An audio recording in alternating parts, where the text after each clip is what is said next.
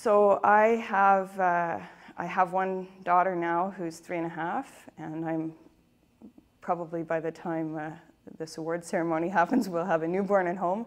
And my husband's also uh, a partner at a large law firm.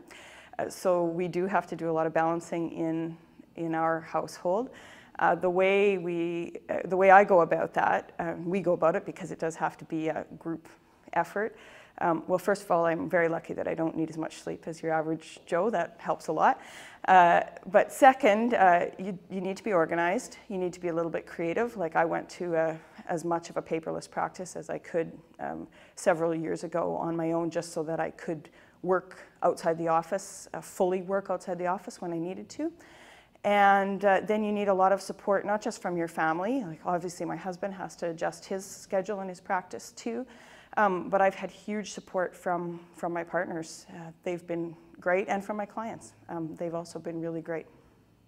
You have many opportunities in our um, profession to work um, as a team, and, and, and you team in it a variety of ways. So there can be teamwork in terms of the other lawyers you're working with on the file, be they senior, junior, peers of your, your level.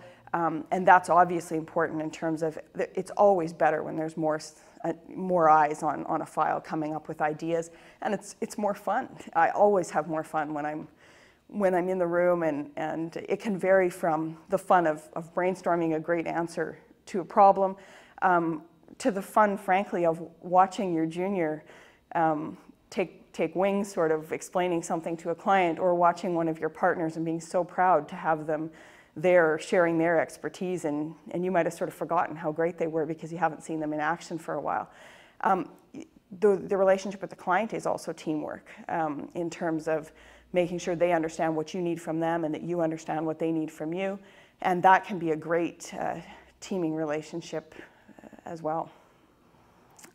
I find it really hard to pick one thing to say it was the pinnacle, so I'm going to hedge on that and, and give you some examples.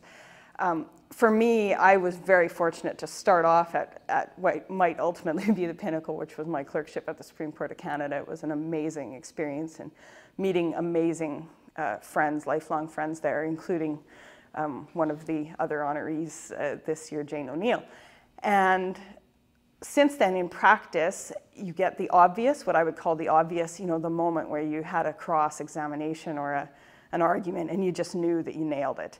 Um, but things that are less obvious, perhaps, too, to people, um, a case that maybe doesn't have a ton of legal significance, but, but the, you, you just really helped a client who otherwise was lost in the system, and, and there's a, a great deal of satisfaction that comes from that. Or a, a case that you tag teamed with another peer of your level, um, and that's, it was so much fun working on it together and, and uh, seeing the result.